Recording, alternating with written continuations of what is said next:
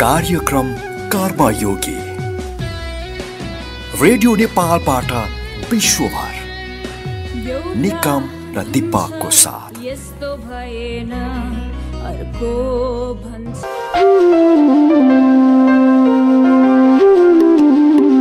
देशको माया कस्तो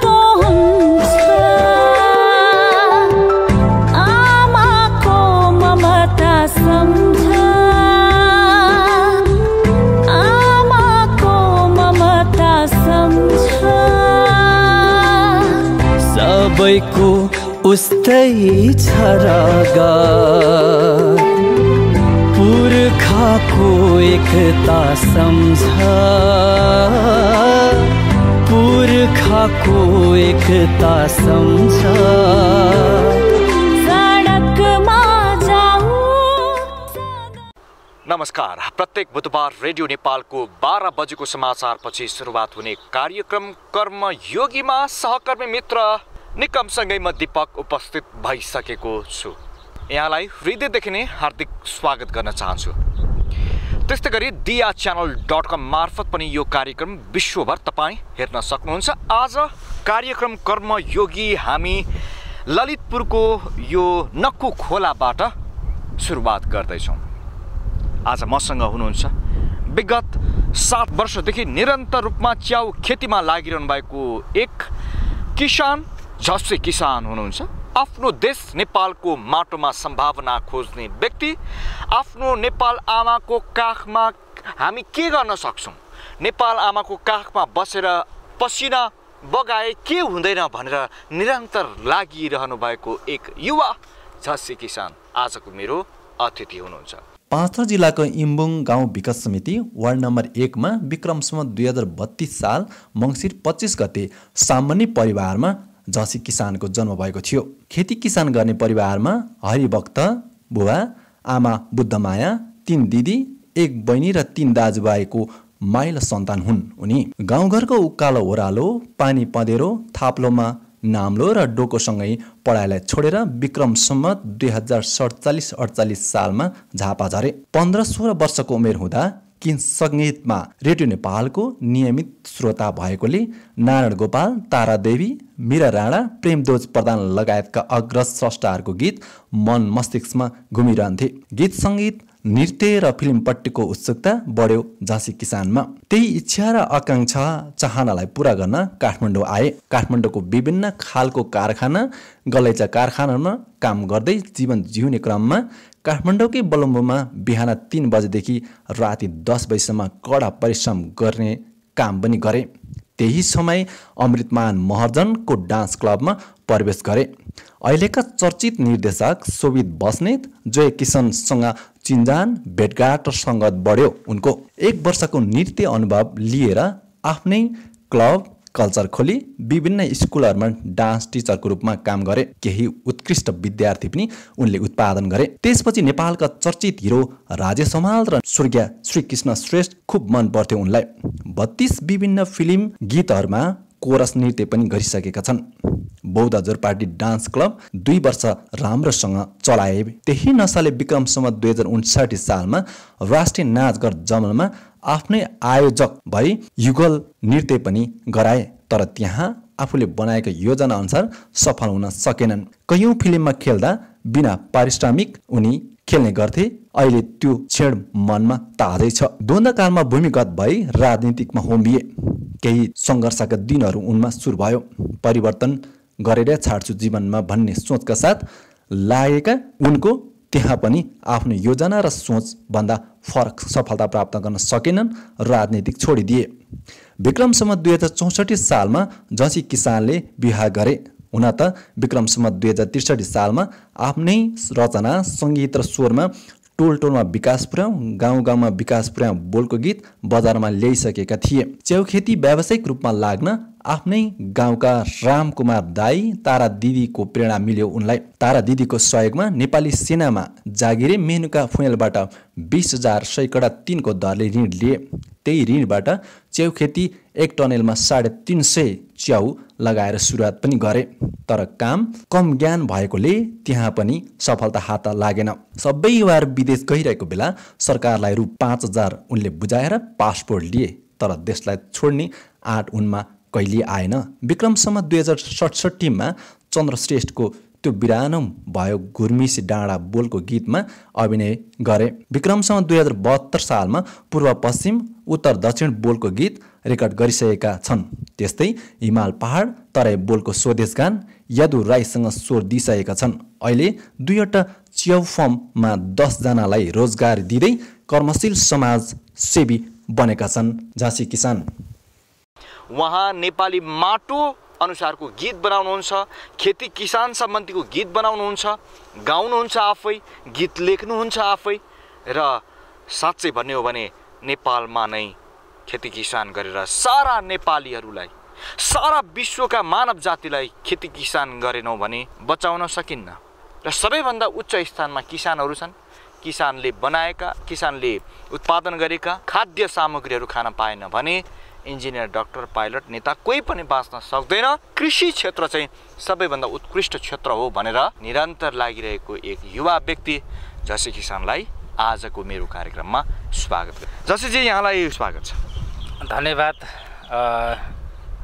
सर्वप्रथम अब तपाईँ दिपक सरलाई त्यसै गरी रेडियो नेपाललाई पनि धन्यवाद छ जसैजी अब तपाईँको धमाधम यहाँ काम भइरहेछ च्याउ लगाउने काम गरिरहनु भएको छ अहिले। अब च्याउ लगाउनको लागि यहाँ पराल उसिन्ने काम भइरहेको छ। परालको यो स्मेल पनि निकै मिठो हुँदो रहेछ। हजुर निकै मिठो हुन्छ। यो पकाउने क्रममा यसको चाहिँ अब पाकिसकेपछि बास्ना हुन्छ। यो बास्ना चाहिँ खुब अब कतिलाई मनपर्छ तर हामीहरूलाई चाहिँ अत्याधिक मनपर्छ। मलाई पनि यो बास्ना यो परालको बास्ना निकै उसिनेको बास्ना पहिलोचोटि यो उसिनेको छ है निकै मिठो बास्ना आइरहेछ।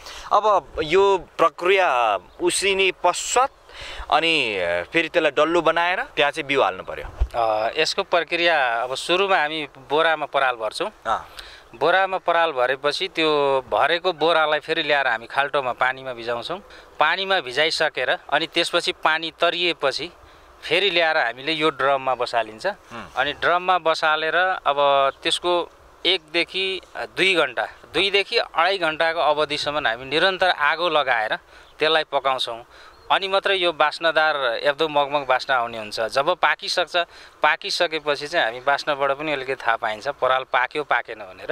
अनि त्यो बास्ना आइसकेपछि र अब पाक्यो भनेर चाहिँ हामीले यसरी निकालेर बाहिर राख्छौँ।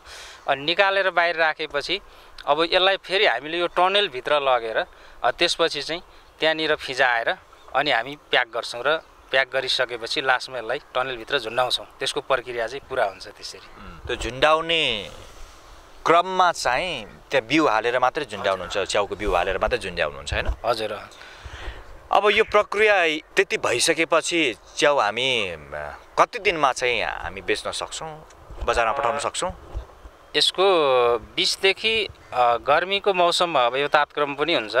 गर्मीको मौसममा हामी अठारदेखि बिस दिनमा बजार पुर्याउन सकिन्छ। अब जाडोको महिनामा चाहिँ पैँतिस दिनदेखि चालिस दिन कहिलेकाहीँ त साठी दिन पनि लाग्छ। मलाई पनि जीवनमा त्यस्तो भएको छ कुनै समयमा। उत्पादन हुनलाई चिसोमा चाहिँ किनभने तापक्रम मिल्दैन होइन? त्यो नमिलेको कारणले कहिलेकाहीँ जिरो डिग्री पनि आइरहेको हुन्छ नि त हिउँदोको समयमा चाहिँ।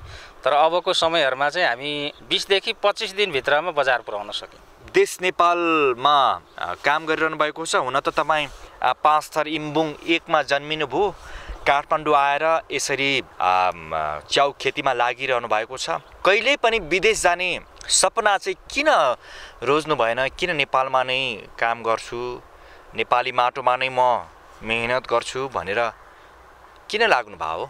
अब यसको चाहिँ मलाई विदेश जाने भन्ने चाहिँ कस्तो रह्यो भने विभिन्न गाउँघरको साथीभाइ तल्लो घर माथिल्लो घर नेपालीहरू प्रायः चाहिँ विदेशै जानुभएको छ र कतिजना विदेश गएर बक्सामा प्याक भएर आउनुभएको छ।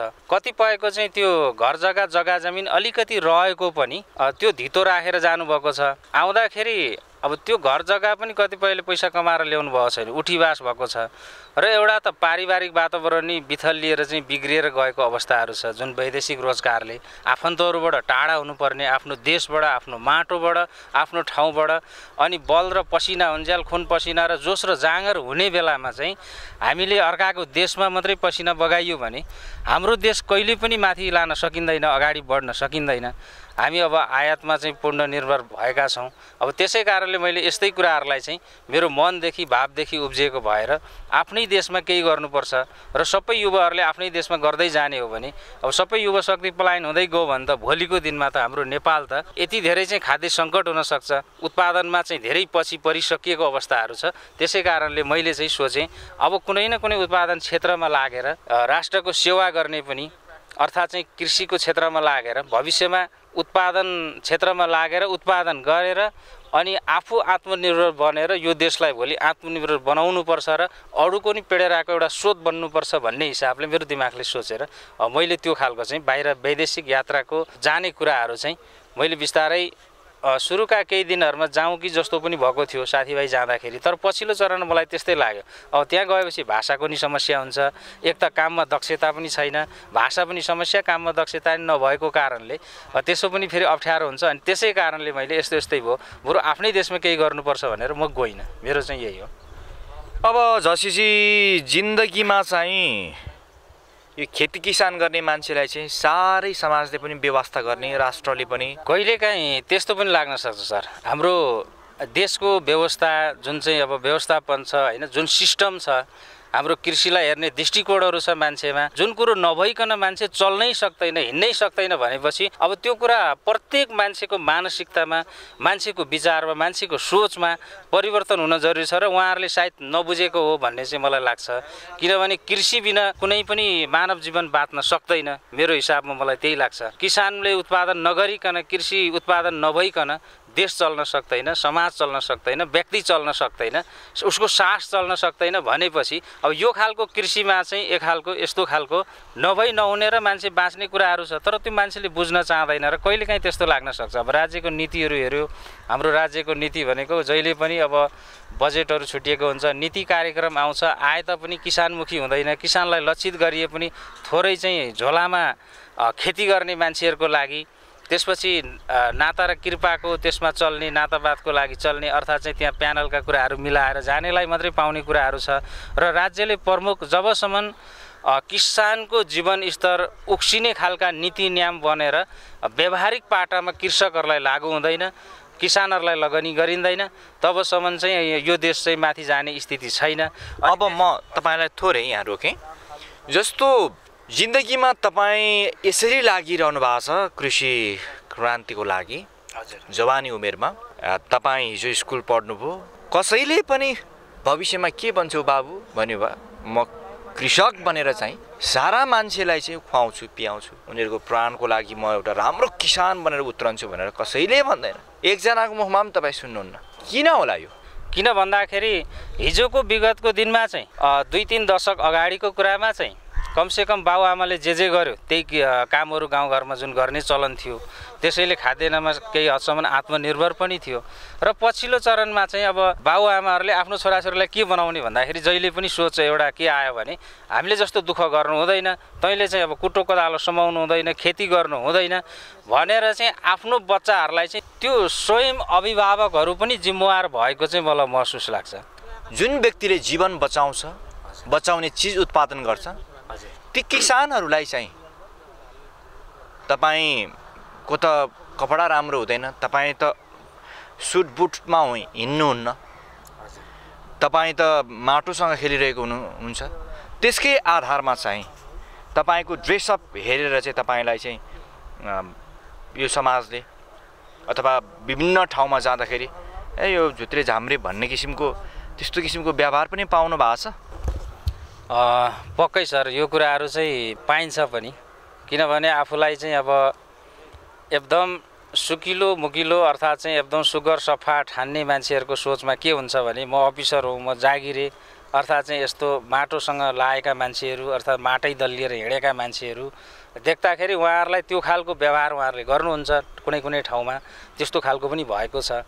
तर अब स्वयं उहाँहरूले माटोलाई चिनिराख्नु भएको छैन माटोलाई बुझिराख्नु भएको छैन ताकि त्यही माटोमा जन्मिनु भएको छ त्यही माटोमा फलेको कुरा खाएर बाँचिएको छ त्यही माटोमा खेलेर हुर्किएको छ त्यही माटोमा हिँडिएको छ र सम्पूर्ण कुरा हामीलाई माटोले दिएको छ र हामी माटैमा बस्छौँ माटैमा सुत्छौँ माटैमा घर बनाउँछौँ माटैमा गाडी कुदाउँछौँ भनेपछि अब माटोदेखि धुलोदेखि अब त्यसरी चाहिँ उहाँहरूले नबुझ्ने कुरा चाहिँ बडा अच अचम्म र विचित्रकै लाग्छ कि? अब त्यो किन बुझ्नु भएन भन्ने कुरा चाहिँ त्यस्तो कुनै कुनै ठाउँमा भएको छ त्यस्ता खालका व्यक्तित्वहरूबाट त्यस्ता खालका मान्छेहरूबाट भनौँ न। यस्तो राम्रो राम्रो गीतहरू पनि तपाईँले बनाउनु भएको छ आफै लेख्नु भएको छ। खेती किसान सम्बन्धी गीत बनाउनु भएको छ तपाईँले होइन? अहिले यो बसाइमा तपाईँ र हामी गीत पो सुन्नु मन लाग्यो तपाईँको। यसमा अब शब्द सङ्गीत मेरो आफ्नै छ त्यसै गरी गीत गाउने स्वर पनि मेरो आफ्नै छ त्यसै गरी अर्को गायिका हुनुहुन्छ। विष्णु चेम्जोङले नि गाउनुभएको छ त्यही कृषिको गाना। तरकारी अर्गानिक फलाउन अर्गानिक फलाउन हाम्रो जीवन स्वास्थ्यकर बनाउन। कृषि प्रधान यो हाम्रो देशमा। हाँसी खुसी बाँचौन हामी त। नेपाली भेषमा अर्गानिक फलाउन अर्गानिक फलाउन। हाम्रो जीवन स्वास्थ्यकर बनाउन। कृषि प्रधान यो हाम्रो देशमा हाँसी खुसी बाँचौन हामी त। नेपाली भेषमा हाँसी खुसी बाँचौन हामी त। नेपाली भेषमा धन्यवाद। आहा। गजब छ त गीत त। हजुर खोइ अब सुन्नेलाई कस्तो लाग्छ? बनाउनु चाहिँ बनाइएको छ। जमिन पनि पुरा चोक्टा चोक्टा बनाएर खाइसक्यो। खेतीपाती गर्नको लागि ठाउँ छैन सबै घरै घर। अनि सबै घरै घर भइसकेपछि अब अन्न बाली चाहिँ कहाँ लगाउने? यो चिन्ताले पनि तपाईँलाई बहुत पिरोलेको छ भन्नुहुन्थ्यो। गीत पनि बनाउनु भएको छ क्यारे यसमा? हजुर हजुर। हजुर त्यो सम्बन्धी नै बनाएको छु। अब अहिलेको जुन वर्तमान अवस्था छ वर्तमानको जुन वातावरण जुन विकास सहरीकरणको तीव्र गति भइरहेको छ। अब त्यो हुने क्रममा देशैभरिको उर्वर भूमिहरू चाहिँ हाम्रो जसरी घडेरी घडेरीमा परिणत भएको छ बाटाहरू खुलेको छ त्यसमा प्लटिङको कुराहरू छ भूमाफियाहरू लागि परेका छन् त्यसै गरी त्यो उर्वर भूमिलाई चाहिँ अब खेतीयोग्य जुन जमिन छ खेतीयोग्य जमिन चाहिँ खेतीको लागि उत्पादनको लागि छुटाउनु पर्ने त्यो नछुटाएर चाहिँ त्यहाँ घर र भवन बनिरहेको छ। त्यसै कारणले मलाई चाहिँ त्यो कुराले चाहिँ पीडालेको भएर मैले त्यो सम्बन्धी एउटा शब्द पनि गीत बनाएको छु। अब त्यो फाइनल रेकर्डिङ हुन बाँकी छ। त्यसलाई चाहिँ फाइनल रेकर्डिङ गरेर चाहिँ अब मिडियासम्म ल्याउने जमर्को गरिरहेको छु। अब त्यसो हुँदाखेरि मान्छेमा के भइरहेको छ भने भोलि खेती कहाँ गर्ने? अब खाने थाल चाहिँ त्यो थालै चाहिँ मासिसकेपछि थालै निकालेर चाहिँ समाप्त पारिसकेपछि चाहिँ अब त्यो थाल बिना उत्पादन बिना चाहिँ के खाने भन्ने त्यो मान्छेमा छैन। र मलाई लाग्छ राज्यले खेतीयोग्य जमिन छुटाएर त्यसमा चाहिँ राज्यले मापदण्ड एउटा बनाएर चाहिँ खेतीको लागि जुन जमिन छ त्यो जमिनमा चाहिँ घर घडेरी बनाउने चाहिँ एउटा प्रतिबन्ध लाएर मापदण्ड लाएर खेतीयोग्य जमिनमा उर्वर भूमिहरूलाई चाहिँ खेतीको लागि चाहिँ अब मापदण्ड बनाएर छुटाउनु पर्ने हो। अब त्यसमा राज्य पनि लागि परेको छैन अब व्यक्तिहरूले मनपरी तरिकाले गरिरहेका छन् तर निकट भविष्यमा यसले गर्दाखेरि खाद्यान्नको सङ्कट हुने सम्भावना देखिएको छ। म अस्ति गत पुसको पहिलो हप्ता दोस्रो हप्तामा म झापा जिल्लाको विभिन्न ठाउँमा थिएँ त्यसै गरी पाँचतर पनि पुगेँ इलाम पुगेँ। यो पुग्ने क्रममा त्यहाँको उर्वर भूमिहरू मैले झापामा देखेँ अत्याधिक धान उत्पादन हुने भूमिहरू। त्यसै गरी देशका विभिन्नै ठाउँमा क्या अब कैयौँ ठाउँमा एउटा त युवा शक्ति सबै बाहिर गएको छ जमिनहरू बाँझो रहेको छ अर्कोतिर। अर्कोतिर चाहिँ उर्वर भएको भूमिमा चाहिँ जुन सहरीकरणको कुराहरू छ आवश्यक क्षेत्र बनाइँदैछ त्यसले गर्दा चाहिँ खाद्यान्नमा भोलि गएर चाहिँ ठुलो सङ्कट पर्ला। पर्न जाला। हाम्रा चाहिँ भावी पिँढीहरूले हाम्रा चाहिँ छोरा नातिहरूले अर्थात् छोराहरूको पालामा त्यो पर्न जान्छ कि भन्ने मलाई चाहिँ त्यस्तो खालको बेला बेला फिल हुन्छ। अनि त्यो फिल हुने क्रममा नै त्यो सोचेर एउटा त्यही गाना बनाइरहेको छु। त्यो मार्फत पनि एउटा चेतना होस् कि मान्छेलाई हुन्छ कि भन्ने हिसाबले त्यो चाहिँ गरेको छु। कस्तो छ त्यो थोरै सुनौ न। बाजो जमिन नराखौँ खेतीपाती गरौँ। बाँझो जमिन नराखौँ खेतीपाती गरौँ उत्पादन गरेर आत्मनिर्भर बनौँ। उत्पादन गरेर आत्मनिर्भर बनौँ। हाम्रो माटोमा हाम्रो देशमा हाम्रो माटोमा हाम्रो देशमा हाम्रो गाउँमा हाम्रो सहरमा हाम्रो गाउँमा हाम्रो सहरमा। धन्यवाद। अब हामी कार्यक्रमको अन्त अन्तमा हामी आइपुगेका छौँ शशीजी तपाईँको यो जुन टनेलहरूमा हामी छौँ अहिले सँगै बसेर गफ गरिरहेका छौँ। धमाधम काम पनि भइरहेको छ यहाँ। पराल उसिन्ने कार्य पनि भइराखेको छ। साँच्चै भन्ने हो भने किसानको लागि धेरै गाह्रो परिस्थितिहरू छ। अनि राज्यको नीति निर्माणहरू अलिकति किसानको लागि सहुलियत दिने ऋण दिने कुराहरू धेरै कुराहरू पहिलेको भन्दा परिवर्तन भइसकेको छ। तपाईँ प्रत्यक्ष तपाईँले चाहिँ कतिको नियम कानुन बनेपछि नीति निर्माण बनेपछि कतिको राहत सरकारबाट पाउनु भएको छ अथवा गाह्रो साह्रै छ कि पहिलेकै जस्तो? अब नीति र नियम पनि किसानको हकमा किसानहरूको लागि जुन कुराहरू मिडियाहरूमा पत्र पत्रिकामा विभिन्न सभा र सम्मेलनहरूमा जुन राज्यको प्रमुख ठाउँमा बस्ने व्यक्तिहरूले त्यो नेतृत्वकर्ताहरूले चाहिँ भनेको कुराहरू पाइन्छ। हामी कहाँमा अब कृषि विभाग छ कृषि सम्बन्धीका कुराहरू छन् तर म भन्न चाहन्छु तपाईँलाई सात वर्षको अवधि मैले यो जुन पेसामा बिताइसकेको छु यो बिताउने क्रममा हाम्रो किसानहरूमाथि वास्तवमा भन्नुहुन्छ भने बत्ती मुनिको अँध्यारो। हामी खुमलटारको आसपासमा छौँ कृषि अनुसन्धान केन्द्र त्यहाँ छ। त्यहाँका सम्पूर्ण अब जनताको खुन र पसिनाबाट उठेको जुन तलब खाएर त्यसबाट आएको करबाट चाहिँ उहाँहरू तलब भत्ता खाएर बसिरहनु भएको छ। त्यसमा अनुदानका कैयौँ कुराहरू आएको छ। तर कहिले पनि त्यहीँ भएको मान्छेहरू आइपुग्नु भएको छैन कि किसानहरूको फर्ममा आएर अनुगमन गरेर त्यसको बारेमा चाहिँ उहाँहरूले बुझ्नु भएको छैन र हामीले त्यो कुराहरू चाहिँ हुनसक्छ थोरै केही व्यक्तिहरूले। मैले अघि पनि भने अब अलिकति चाकरी गर्ने अलिकति घुस खुवाउने त्यसै गरी चाहिँ अलिकति त्यस्तो गर्नेहरूलाई चाहिँ उहाँहरूले केही हदसम्म गरेको छ कि भन्ने लाग्छ। तर हामीहरूको लागि जो प्रत्यक्ष फिल्डमा काम गरिरहेको छ जहाँ आएर हेर्दाखेरि प्रत्यक्ष देख्न सकिन्छ भेट्न सकिन्छ तर त्यो क्षेत्रको लागि त्यो ठाउँको लागि चाहिँ कुनै अनुदान कुनै चाहिँ अब ऋणहरू कुनै चाहिँ किसानको लागि किसानमुखी कृषकको लागि चाहिँ त्यस्तो खालको किसान नि मुखी खालको चाहिँ नीति नियम चाहिँ राज्यको तर्फबाट चाहिँ आएको जस्तो मलाई लाग्दैन। किनभने यत्रो वर्षको अवधिमा हामी पनि एक दुईजना त्यो मान्छेहरू भेट्दाखेरि उहाँहरूसँग कुरा त हुन्छ तर व्यवहारिक पाटामा चाहिँ भएको मैले देखिराखेको छुइनँ र भएको छैन।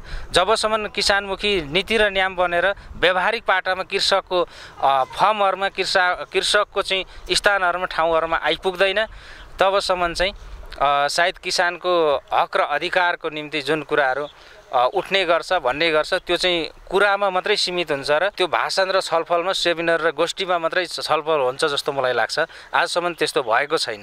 त भोलिका दिनहरूमा राज्यले अवश्य पनि तपाईँ जस्ता युवा जो आफ्नै देशमा बसेर दुई दर्जनभन्दा बढीलाई रोजीरोटीको वातावरण सृजना गरिरहनु भएको छ राज्यले देख्न सकोस्।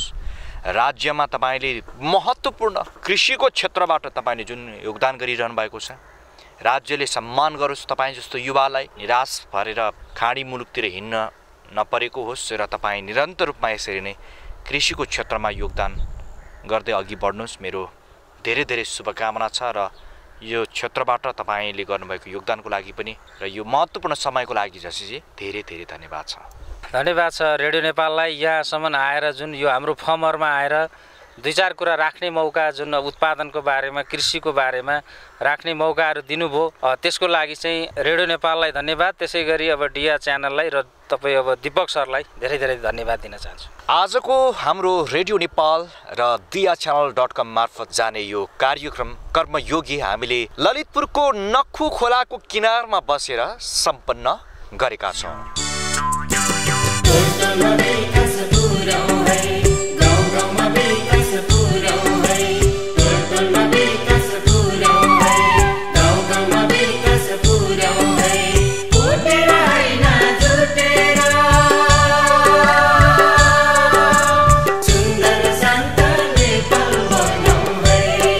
कार्यक्रम कर्मयोगीको समय पनि सकिसकेको छ।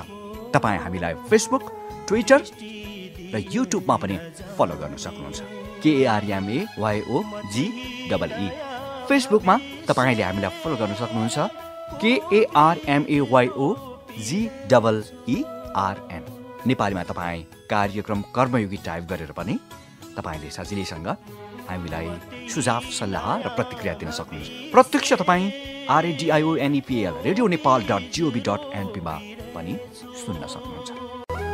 कार्यक्रम कर्मयोगी। रेडियो नेपाल विश्वभर। निकम र दिपकको साथ। यस्तो भएन अर्को भन्छ किन त्यस्तो भएन?